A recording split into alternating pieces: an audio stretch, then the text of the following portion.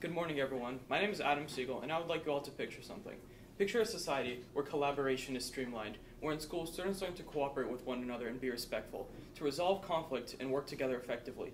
Think of all the implications that this would insinuate. People's social skills would dramatically increase as the presence of competition would diminish, and as time goes on, there would be no more conflict, there would be no more divorce, there would be no more war, because it had been instilled into students early on that they should get along with each other. Except that's not the world we live in, or at least not the country. In America, is in America, competition has been deeply embedded into how we live today. Which is why it's important to know the differences between competition and collaboration, to know which one is truly better for education. The essence of education is to provide the best for students, to allow them to flourish and prepare them for the future. But how can this pr- principle be attained when there's a fundamental difference between two widely used education systems, collaboration and competition? Thus, the question needs to be asked which one is more effective. But how can you make that decision, one where the fate of millions of American students' lives hangs in the balance, without knowing what both of these entail? According to Robert Axelrod in the book The Complexity of Collaboration, competition is individualistic learning. Students' test scores are what measure their success as they compete with one another for the best grade and teacher recognition. There's a major emphasis on GPA, class rank, and standardized testing. Collaboration based education, on the other hand, is cooperative learning. Students work together to complete assignments and finish their tasks as they learn social skills in the process, and there is an importance on group activities, total equality, and communication. According to Diana Pounder in the book, in the book, according to Diana Pounder in the book Restructuring Schools for Collaboration, group presentations, Socratic discussions, and science experiments are what constitute collaboration. And if you reflect on your own education, you would see that you've had both a mix of competition and collaboration, but that still begs the question which one is more effective. And through, because of the differences between competition and collaboration, you'll see that, that competition reigns supreme. And this all starts with capitalism. According to Justine Hastings, an American economist, advi- policy advisor, and academic from the National Bureau of, Academic, of Economic Research, capitalism, the basis of American economy, is built upon a foundation of, of competition. In America, America is competitive in nature, and to succeed in America, you must be competitive. Thus, that's why competition helps prepare students for that. In fact, according to a poll by the Pew Research Center, where they asked employers what skills most uh, appeal to them for employees, the top two responses were ones found in competition based learning. Work ethic and willingness to learn are both intrinsic virtues that can only be taught in competition. You should notice that the third highest, ability to get along with others, is collaborative, which shows you that while co- collaboration is important, it should not be the major focus on schools.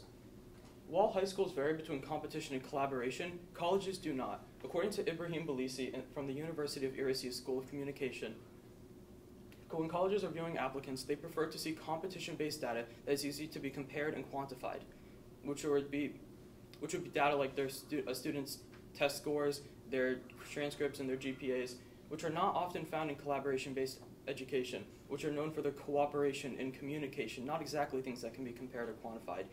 Purpose of high school is to prepare is to prepare students for college, not be an extension of elementary school, which is why colleges would much rather see a student's GPA and SAT score than know that they spent all of high school talking about their feelings with other classmates.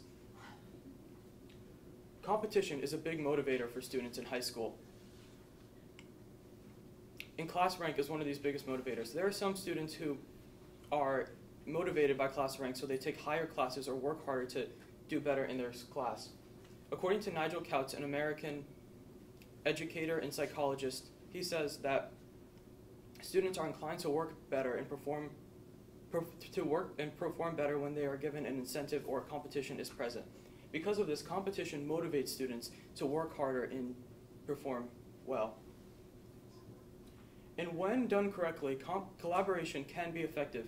In fact, in Finland, they use solely collaboration based models, and they rank near the top in the PISA worldwide exams done by the Organization for Economic Research and Development, which can show that one that collaboration can be effective. But what is more important to notice is that other countries that rank near the top, Singapore, Hong Kong, Japan, Taiwan, they're all characterized by fierce competition between students. So competition can be just as effective, if not more. The solution is clear. Competition is the way to go. And to do this, schools should be emphasizing test scores and stressing class rank to get students more involved about what they're learning and how they're truly how their education is truly going. And schools should also instigate teacher competition to motivate teachers to perform better and will thus in, in better the quality of education that is given to students. And the truth is that collaboration is important, so I suggest limited collaborative activities to make sure that students are able to get along with each other and cooperate, but that should not be the central focus of schooling. With any solution comes its limitations, and a limitation of of this proposed solution that competition should be based competition based education should be implemented in every school is that there might be some students who are discouraged by what truly goes on and that and then they become apathetic to the competition because they don't want to compete because they won't do as good but the truth is that this is unavoidable in life and the, the, the fact of the matter the inescapable truth is that life itself is a competition and you cannot get away from that which is why we must be prepared for it what questions do you have thank you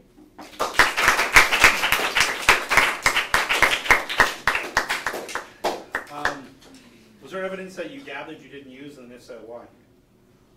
There were evidence. There was particular evidence that I gathered in my um, when I was doing my research, and it was actually um, from Nigel Counts. He was a psychologist and an educator, and he found statistical data proving that students are more inclined to work harder when present when competition is present. But I was struggling to find time in my presentation, which is why I figured that that can be left out, and I figured I'd just include the quote. Okay, and next question. Um, what advice would you have for people that look at this in the future?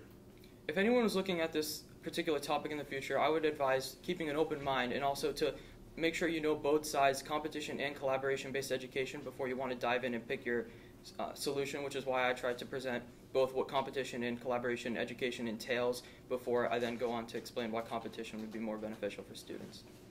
All right, perfect. Thank you.